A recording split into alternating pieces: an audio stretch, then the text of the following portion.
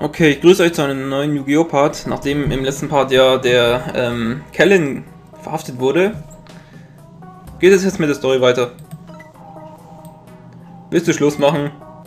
Ja. Okay, ich werde mich auch etwas ausruhen. Janka, Janka. Janka, kannst du mich hören? Endlich, komme ich zu dir durch. Oh nein, das Slenderman. Dies ist der Welt der Geister aller Duellmonster. Es mag für dich wie ein Traum erscheinen, aber es ist keiner. Er ist real. Hier leben die Geister der hier leben die Geister der Duellmonster. Sie alle lebten hier einmal im Frieden. Aber jetzt befindet sich eine böse Macht auf dem Weg in diese Welt. Sie will dieses Land verderben und es für ihre eigenen Zwecke missbrauchen. Genau das gleicht gleiche, also genau das gleiche Schicksal hat sie auch mit der Menschenwelt im Sinn. Wenn die Welt der Geister fällt, dann ist die Menschenwelt als nächstes dran. Ein Mädchen in der Menschenwelt ist die einzige Person, die dieses Land retten kann. Sie ist mit der Welt der Geister verbunden und ihr reines Herz kann uns gegen das Böse helfen. Aber sie ist noch jung und hat noch nicht den Mut, den sie braucht, um sich dem Bösen zu stellen. Zwar bist du nicht so mächtig wie sie, aber du kannst, äh, aber auch du bist mit dieser Welt verbunden. Was für ein Zufall. Bitte tu alles in deiner Macht Stehende, um mir zu helfen. Zusammen schützt ihr diese Welt vor dem Bösen, das sie zerstören will. Ja, und jetzt? Morgen, Janka! Du schwätzt ja wie verrückt, geht's dir gut? Bist du sicher? Na, wenn du das sagst. Aber übertreib's nicht, okay? Gro ist schon früher aufgegangen und er ist nicht wieder zurückgekommen. Warum habe ich dem jetzt einen bayerischen Akzent gegeben? Egal. also gut, nochmal speichern, damit ich mir das Gequatsche nicht nochmal anhören muss. Ah ja, da ist er schon. Der Crow. Janka, endlich wach, wie ich sehe. Ja, anscheinend. Du hast wirklich tief geschlafen, alles okay. Du fühlst dich doch nicht krank, oder? Was, du hattest einen komischen Traum? Ha. Also war es kein Traum? Du warst in der Welt der Geister? Ich bin verwirrt. Ja, das ist ein bisschen zu hoch für dich, nicht wahr? Ja, ja, da braucht man einen speziellen IQ, um sowas zu verstehen. Was? Welt der Geister? Ach, das ist doch Sayer. Was macht der denn da? Hm. Das ist ein ziemlich komischer Traum. Ich frage mich, ob es so etwas wie eine Botschaft ist. Hm, Welt der Geister. Aber nur ein Traum, ich weiß nicht von einer Weltkrise. Er, konnte, er könnte ein wichtiger Hinweis für diese Geschichte mit dieser Welt der Geister sein. Das ist vielleicht die Chance, nach der ich gesucht habe. Ich muss ihn fragen, fangen und erforschen.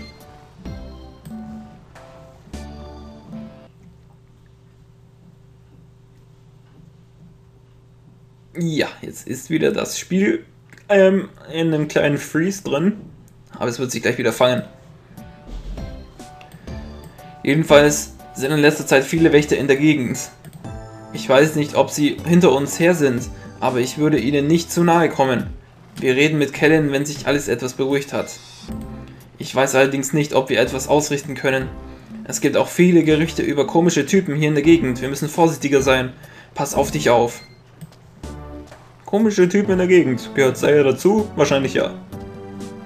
Ja, da ist er. Schön, dich kennenzulernen. Ich bin Sayer von der Arcadia-Bewegung. Ich möchte dich kurz sprechen. Hast du ein paar Minuten?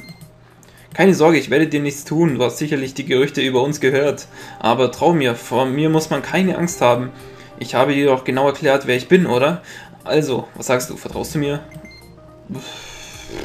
Warum kann ich hier nicht Ja oder Nein anwählen? Ich verstehe. Dann habe ich keine andere Wahl, als Gewalt anzuwenden. Ich wollte nicht, dass es so weit kommt, aber es geht wohl nicht anders. Ah, eine Zauberkarte. Er schenkt uns eine Zauberkarte. Ich bin so freudig erregt und krieg erstmal ein bisschen Kopfschmerzen. Genau. Deine Gedanken werden von Sayers Psy-Kräften gesteuert. Hör auf, dich zu wehren. Ich soll mich hiermit beeilen. Meine Arbeit darf nicht vorzeitig auffliegen. Okay, er hat uns eine Zauberkarte geschenkt und jetzt sind wir sein Freund. Soll ich stolz sein, meine wahre, mächtige Gehirnwäschetechnik genießen zu dürfen, ne? Hey, danke für die Zauberkarte, ne? Habe ich mir schon immer gewünscht. Du erinnerst dich an etwas aus deiner Vergangenheit, das du vergessen hattest. Einst haben du, Yusei und alle seine, all deine Freunde oder seine Freunde an Seite an Seite in Satellite gekämpft. Sei das Subjekt ist jetzt wach. Wir müssen die Gehirnwäsche verstärken, wenn das Subjekt unserem Befehl folgen soll. Um der Widerstand bei Kontakt mit engen Freunden zu verstärken. Um den Widerstand zu verstärken. Also, okay. Was? Die Wirkung lässt nach? Erhöhe die Geschwindigkeit. Wenn das Objekt ausbricht, könnte es äußerst unangenehm werden. Erhöhe die Leistung. Die Gehirnwäsche darf nie wieder umgekehrt werden. Hm, erinnert mich jetzt an das Lied von Kusawash, Brainwash, egal. Ähm, sehr, die Lebenszeichen des Subjekts sind zu schwach, das ist zu gefährlich. Bis zu einem gewissen Grad macht mir die Gefahr keine Sorgen. Das Subjekt hat das Bewusstsein verloren. Es könnte enden, wie mit den Jungen damals. Brech die Gehirnwäsche ab! Wer weiß, wann diese unverständige Gehirnwäsche umgekehrt wird. Oh, wie es scheint, haben wir einen Eindringling unter uns. Ich kümmere mich persönlich darum. Stecke dabei das Subjekt in eine Zelle. Wir machen weiter, wenn es wieder bei Bewusstsein ist. Jawohl.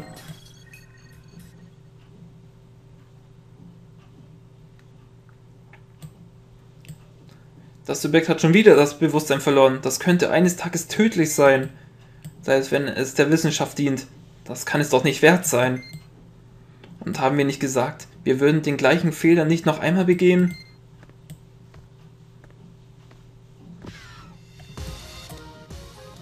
Würde jemand, würde jemand, bitte, ich werde in der Welt der Geister gefangen gehalten, bitte hilf mir! Irgendjemand, bitte hör mir zu! Mann, was für ein abgefucktes Spiel. Okay, äh, ein, von einem Trip zum anderen, egal. Äh, gut. Kapitel 3. Die Begegnung. Die Welt der Geister. Und neue Verbündete.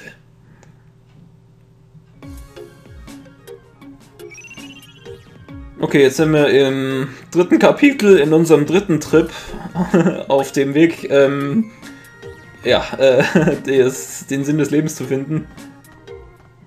Oh, was ist das? Steckt ein Stab in den Wurzeln des Setzlings. Aha, okay. Kann ich den irgendwie rausnehmen oder sowas? Geht das? Nein, anscheinend nicht. Na gut, aber hier ist ein Speicherpunkt. Hallo Speicherpunkt, ich grüße dich. Speichere das Spiel. Und ja, jetzt müssen wir üblicherweise jetzt nach rechts laufen. Oh, ein Baum steht im Weg. Ein großer Baum versperrt den Weg. Du kommst nicht durch. Hm. Das heißt, wir sind gefangen. Wir sind lost. Okay, ähm... Aber hier ist ja dieser Stab. Vielleicht bringt er uns irgendwas jetzt. Warum hätte ich den nicht vorher nehmen können? Boah, das Spiel ist doof. Warum kann ich den jetzt auf einmal nehmen? Das ist doch unnötig. Okay, jetzt haben wir einen Minusstab. Dieser Stab, der bewirkt, dass wir alles ähm, Minus rechnen können. ja, dort, ähm, wo der Stab herausgezogen wurde, begann ein großer Baum zu wachsen. Ich glaube, ich habe immer noch einen fetten, fetten LSD-Trip. Na gut, dann gehen wir jetzt dort lang. Und Minusstab. Ich äh, benutze die Minusstab-Attacke. Und was passiert? Verschwunden. Und was ist hier? Der Effekt des Minusstabs hat den großen Baum in einen Setzling verwandelt. Er hat also die Zeit quasi umgekehrt. Der Stab ist auch verschwunden. Es sieht so aus, als könnten diese Stäbe natürliche Phänomene umkehren. Was du nicht sagst, Spiel, was du nicht sagst. Und jetzt kommen wahrscheinlich viele tausend Rätsel jetzt dazu, die mich jetzt äh, total äh, verzweifeln lassen werden. Ein weiterer Minusstab. Das sieht ja auch einfach so rumliegen, überall. Minusstäbe ragen hier ähm, und da aus dem Boden. Vielleicht kannst du sie benutzen. Drücke den Y-Kampf für einen neuen Versuch. Dies wird allerdings alle Item-Infos auf der Karte löschen. Oh, jetzt kommen wieder so blöde Rätsel. Okay, hier ist die Minus-Stabanzeige, wie viele wir gerade haben. Oh, komm schon. Ich hasse sowas. Oh, da oben ist... Was ist denn oben? Wie kommt die Kiste auf den Baum? Hm, da fällt mir was ein. Karten sind so schwer zu besorgen, als ob die Karten in so Kisten auf so Bäumen wachsen würden. Ist ja voll albern. Was zum? Überall wachsen Pflanzen. Du kannst das Atem, du kannst den Atem des Lebens spüren. Gut, dann setzen wir ihn einfach mal ein. Was ist da drin?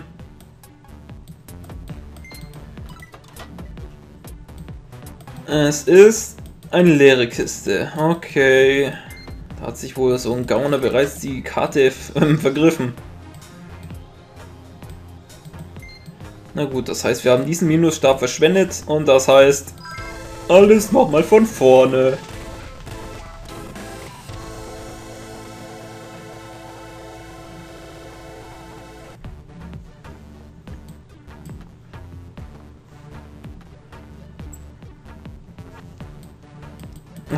Uns wieder das erklärt. Ich glaube, ich mache hier Save States, weil es einfach nur nervig ist, sich immer wieder diesen Dialog da anzuhören.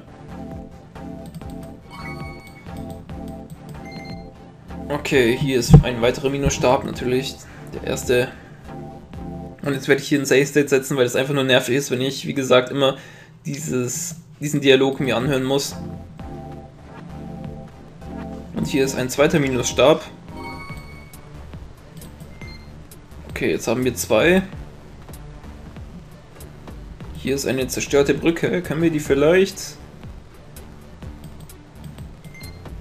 Können wir den Minusstab hier benutzen? Und die Brücke dadurch wieder umkehren und aufbauen? Yep, das hat funktioniert. Aber was hat es jetzt gebracht? Gar nichts. Das können wir hier logischerweise theoretisch angeln, wenn wir möchten. Aber ähm, hat im Prinzip nichts gebracht, ne? Und das heißt, loaden. Ich glaube, ich muss mir das Ding merken, die, die Schnelltaste. Äh, die Schnelltaste ist die 2. Okay.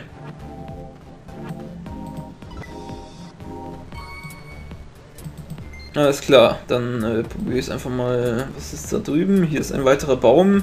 Es bringt nichts, wenn wir den jetzt da klein wachsen lassen. Hier ist ein schöner Wasserfall. Das Wasser stürzt in einen Wasserfall herab. Ah, wir können den Minusstab daran benutzen. Und was passiert? Der See ist trockengelegt.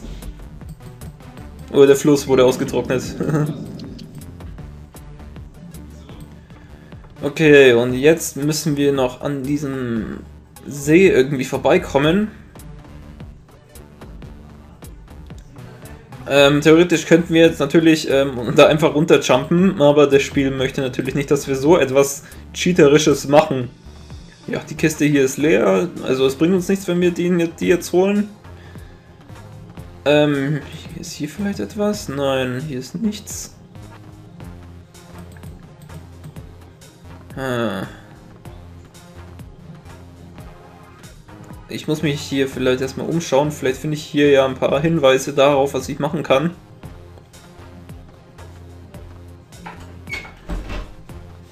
Und ähm, hier es nicht weiter, aber vielleicht muss ich irgendeinen Baum dann umstoßen oder sowas. Und dann kann ich den vielleicht als, ja, als kleine Brücke benutzen. Aber ob das hier funktioniert, ist ja unwahrscheinlich. Ich benutze den nicht nochmal. Das ist ja dann Verschwendung, wenn ich den Wasserfall jetzt dann deaktiviere und dann wieder aktiviere. Was bringt es denn, wenn ich hier den Baum jetzt hier... Ich mache mal ein Save State und speichere mal kurz und ähm... Welchen Ding... Genau, den zweiten. So, und schaue ich mal nach. Ene, mene, mu und... Was passiert? Dass hier immer eine Beschreibung sein muss, das ist doch nervig. geht's. Ist die Brücke, hat sich hier ist da was verändert? Nein, hat sie nicht. Hm. Da passiert ja gar nichts. Und dass wir diesen Baum haben einwachsen lassen, ist auch unnötig. Gut. Load State, was habe ich denn jetzt gemacht? Äh, zack. Hm. Können wir vielleicht jetzt die Brücke... Ich probiere es jetzt mal mit der Brücke. Was anderes kann ich mir jetzt auch gar nicht erklären. Hä? Äh, hä? Das bringt gar nichts. Warum bringt das nichts? Ich hasse solche Rätsel. oh, das bringt mich auch zum Verzweifeln. Und wir haben keinen Minusstab mehr. Nein, Verdammt, die Schnelltaste funktioniert nicht, damit selektiere ich das Ganze nur. Also gut, dann mache ich es eben so auf die andere Methode. Mann, das ist so ein schöner Punkt in diesem Spiel. Keine Duelle, nur blöde Rätsel. Ach ja, warum kaufen wir sich das Spiel eigentlich, wenn man kein Yu-Gi-Oh! spielen kann, aber dafür ein paar unnötige Rätsel machen muss? Hm. Hier ist nichts. Ach, wir, wir kommen da einfach so runter. Okay, okay. Das erklärt natürlich alles. Ähm, eine Aufladung haben wir noch übrig. Und hier geht es ja auch schon weiter. Das heißt, ich kann den eigentlich hier jetzt auf diese Kiste hier einsetzen.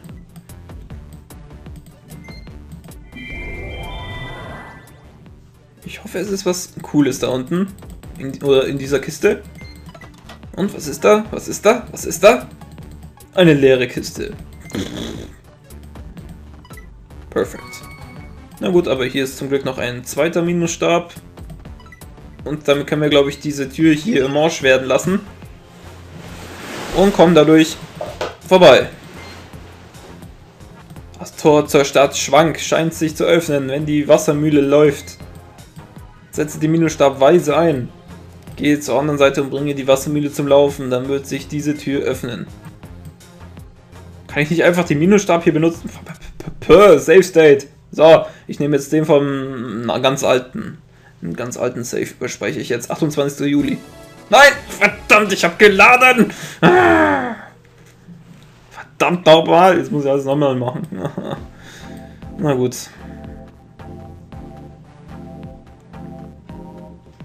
Also gut, dann ähm, Willkommen bei Let's Laufing durch die Gegend hier in Yu-Gi-Oh! 5Ds ähm, Revenge of Arcadia.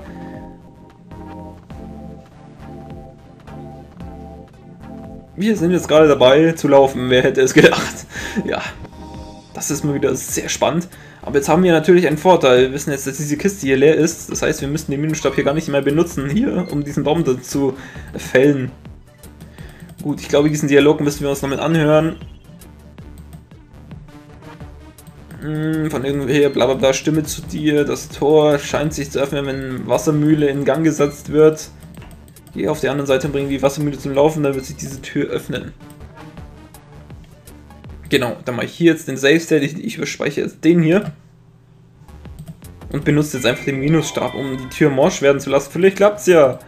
Sieht nicht so aus, als würde der Minusstab diese Tür öffnen können. Okay, den haben wir verschwendet, das heißt loaden. Zack, Natürlich müsst ihr das in der Praxis dann immer wieder neu machen, komplett alles neu. Ähm, aber ich mache das jetzt einfach nur mit den Save States, um mir ein paar Nerven zu ersparen, denn ihr wisst, wie ich diese Rätsel mag. Alles klar, dann gehen wir jetzt hier nach unten. Oder was ist hier? Eine Brücke.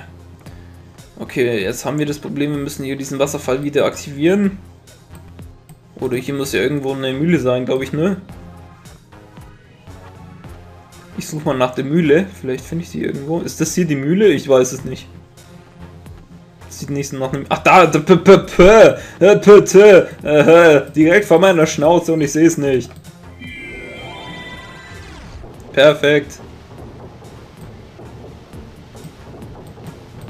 So, Mühle ist aktiv, aber ich glaube, das Wasser muss auch noch aktiv werden. Aber ich schaue jetzt mal nach, ob es auch schon so reicht. Und wenn nicht, dann ist es wieder ein schwieriges Rätsel, denn ich muss jetzt dann rüber, den Wasser aktivieren und, ähm, ah ja, perfekt. Von irgendwoher dringt eine Stimme zu dir. Oh, nee.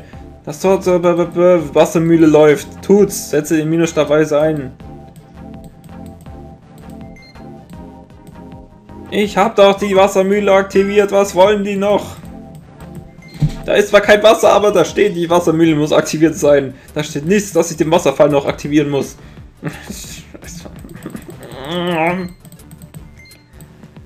Ich hasse solche Rätsel. Ich hasse sie einfach. Ich war noch nie ein Fan davon. Am liebsten würde ich die jetzt einfach in diesem Spiel komplett immer überspringen wollen. Aber ich kann sowas ja natürlich nicht machen. Warum, weiß ich nicht. Ich muss, ich muss einfach da durch. Ich weiß nicht, warum ich das machen muss. Aber äh, äh, ich will mich einfach nur selber ein bisschen quälen. Genau. Okay. Aber wenn ich den Wasserfall jetzt aktiviere, dann ähm, komme ich nicht mehr rüber. Weil dann Wasser davor ist, oder? Aber hier ist ja ein Stein, ne? Könnte eigentlich das Wasser blockieren, aber ich glaube nicht, dass das funktioniert, denn das Wasser kommt hier eigentlich auch durch und da hinten eigentlich auch. Ähm, aber ich, mir bleibt nichts anderes übrig, ich muss das jetzt so machen. Und muss den Stab dann einfach hier bei der Wassermühle, äh, Quatsch, hier beim Wasserfall jetzt nochmal aktivieren. Vielleicht habe ich ja Glück und ich kriege einen weiteren Stab. Vielleicht ist da oben irgendwo noch ein Stab und der fließt dann nach unten oder so. Ach, keine Ahnung. Okay, nochmal probieren. Eine zweite Verwendung des Minusstabs hat den normalen Fluss der Zeit wiederhergestellt. Also wenn man hierfür ein Skript, ähm, ein extra Skript einbaut, dann muss es glaube ich so sein, dass man das machen muss. hoffe ich, dass ich da irgendwas finde. Hier am Flussufer.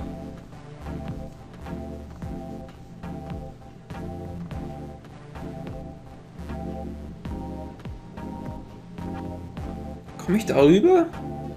Ich glaube es zwar nicht, aber... Nee. Jetzt kommt da... Es ist, das ist genau das, was ich befürchtet hatte. Ich aktiviere den Stab und ich komme da nicht mehr rüber. Aber vielleicht muss ich das komplett anders machen. Hm. Was ist das für ein blödes Rätsel? Ich mache es jetzt nochmal komplett von vorne. Vielleicht komme ich ja dann drauf.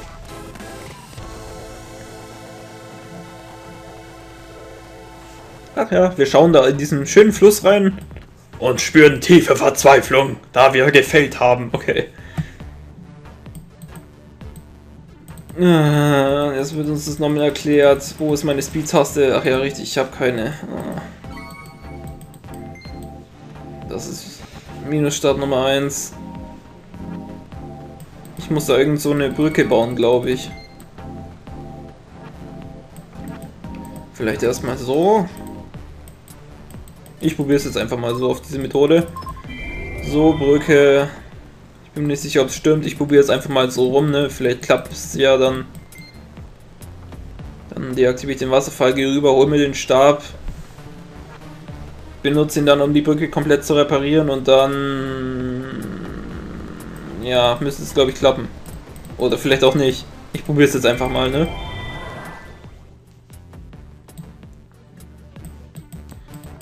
Okay, das war der zweite. Ah, war da gerade so ein Geräusch? Egal, ich habe das Geräusch gerade irgendwie... Ich habe da irgendwie gerade so ein Geräusch vernommen. Ach, ist ja auch egal.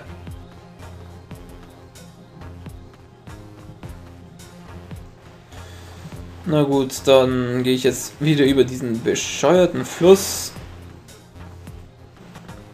Oh Mann. Wir haben lange kein Duell mehr gemacht, ne? Gute zwei Parts, glaube ich. Mit diesem hier natürlich. Schon ein bisschen traurig. In einem Yu-Gi-Oh! Spiel ohne Duelle ähm, auszukommen. Na gut. Hm. Ich schaue jetzt mal nach, was passiert, wenn ich hier diese Brücke aktiviere. Ich weiß, wir müssen den aktivieren, um die Mühle wieder aktivieren zu können. Aber ich schaue jetzt mal nach, ob das hier irgendeine Bedeutung hat, diese Brücke, eine wichtige. Die Müllstab hat die bla bla Brücke wiederhergestellt. Aha, jetzt ist die Brücke komplett fertig. Okay. Gut, jetzt bräuchten wir nur noch einen neuen Minusstab. ähm, um ja, die Mühle wieder aktivieren zu können. Und um den Wasserfall natürlich auch noch zu aktivieren. Ähm, aber wo befinden sich diese? Ich gehe jetzt mal zum Tor, vielleicht bekomme ich ja einen von dieser seltsamen Stimme. Kling. Von irgendwoher dringt eine Stimme zu dir. Das Tor zur Stadt Schwa Schwank scheint zu öffnen. Kann ich nicht einfach da reinschreien? Hallo, öffnet mir die Türen. Ich will nicht so ein Rätsel lösen.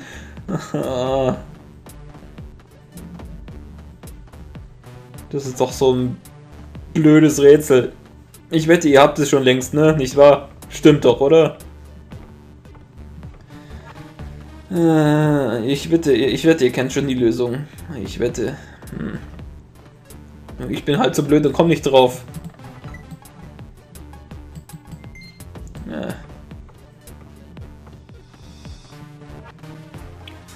Wie funktioniert das? Wie komme ich da durch? Früher wusste ich es auswendig, wo ich das Spiel ähm, häufig gespielt habe.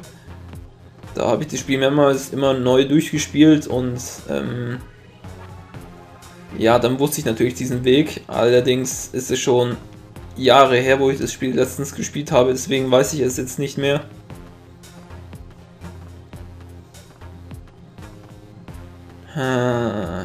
Ich glaube, ich habe es falsch gemacht. Auf jeden Fall habe ich es falsch gemacht. Aber wo findet man dann noch einen Minusstab? Also ich glaube, die Brücke muss auf jeden Fall wieder funktionieren, weil man kommt hier nicht anders rüber. Oder vielleicht doch? Das ist natürlich seltsam. Soll ich im Internet nachschauen? Nach einer Lösung? Hä? Moment. Das war unnötig. Dass wir diese Brücke hier repariert haben, war unnötig. Auf jeden Fall. Okay, ich glaube, ich hab's. Diese Brücke darf man nicht aktivieren, sondern diese muss man hier später erst aktivieren. Okay, ich glaube, ich habe die Lösung. Ich habe die Lösung, glaube ich. Aber ich glaube es nur. Bin mir nicht sicher. Oh nee, wieder dummes Quatsche. Minusstäbe ragen auf den Boden. Wir können sie benutzen. Wir können Y für einen neuen Besuch, Versuch benutzen. Alles klar. Oder auch nicht. das ist Minusstab Nummer 2. Was für ein bescheuertes Rätsel. Dann hier Wasserfall. Du wirst ausgetrocknet. Willkommen in Afrika, Bitch.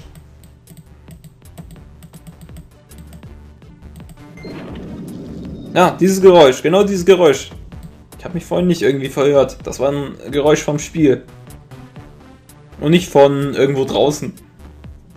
Dachte ich es mir doch. Ich habe mir schon gedacht, das kommt von draußen irgendwo, das Geräusch oder so. Und nicht vom Spiel.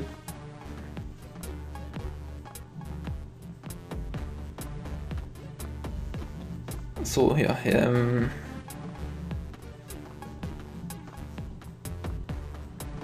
Dann sammle ich hier diesen dritten Minusstab ein.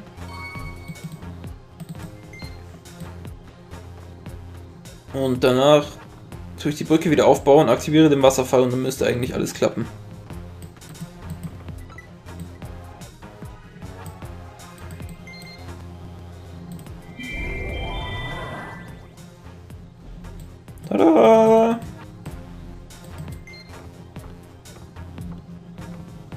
Okay, jetzt nochmal den Wasserfall benutzen. Oder aktivieren. Leider haben wir die Wassermühle nicht aktiviert, aber die kann sich, glaube ich, auch so aktivieren von selber, oder? Wenn das Wasser ja dann ins, äh, in das Getriebe des Wasserwerks reinströmt. Hoffe ich zumindest.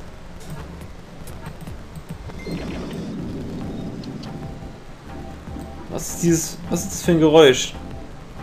Ah, das ist das Geräusch des Wasserrads, wenn es sich dreht. Ach, keine Ahnung, irgendwie sowas. Auf jeden Fall haben wir, haben wir es jetzt geschafft. Boah, ich habe jetzt eine halbe Stunde für dieses Rätsel gebraucht. Ich würde den Gymnasiast hätte das in 10 Minuten ge geschafft. Aber ich bin ja nur ein Wirtschaftsschüler. Was soll ich denn da machen?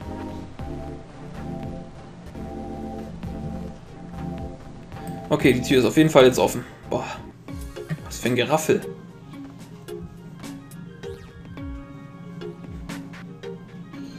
Wir kommen in Venedig.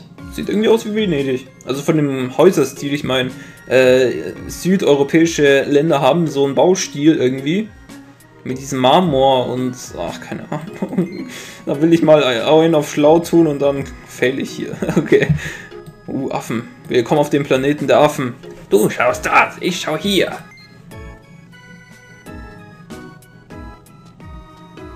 Aha, aha, okay, mhm. Ja, genau, mhm. fällt überhaupt nicht auf. Mhm.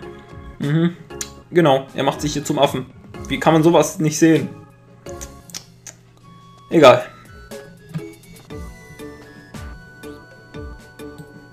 Puh, das war knapp. Die haben uns fast gefunden. Ich bin Tarunka. Du bist ein Mensch, was? Dann bist du wohl etwas Besonderes. Du musst auserwählt sein. Ah, dann bin ich jetzt in der Matrix oder was? Äh, diese Typen dort gehören Seemann, dem Affenkönig. Mhm, mhm. Er lässt über diese, er herrscht über dieses Land. Seemann hat viele Geister mit dem Fluch des Minusstabs gefangen. Ich wollte fliehen, aber mich hat der Fluch erwischt, deshalb bin ich klein und hässlich. Ich war mal ein hübscher und ver versierter Zauberer. Auch wenn ich jetzt nicht mehr so aus... Was aussieht? Äh, was schaust du so? Du glaubst mir nicht, was? Öffne deine Augen, schau dir nur die leere Hülle dieser Stadt an. Das sollte Beweis genug sein. Was, den Teil der Geschichte hast du nicht angezweifelt? Was denn dann? Du glaubst also nicht, dass ich mal bla bla bla blödes Gequatsche, warum lese ich das vor? Ich will Yu-Gi-Oh! spielen und mir nicht anhören über seine Lebensgeschichte. Mann! Okay, warte. Jetzt kriege ich irgendwas, irgendwas Unnötiges. Ah, okay. Ähm, das ist nicht unnötig. mein Deck, danke.